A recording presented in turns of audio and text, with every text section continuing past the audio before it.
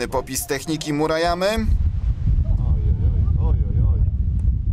i, i gol na 4 do 2. Trzeci Japończyk Takeya Murayama zamieszał całą defensywą Leśnika i zdobywa gola na 1 do 0.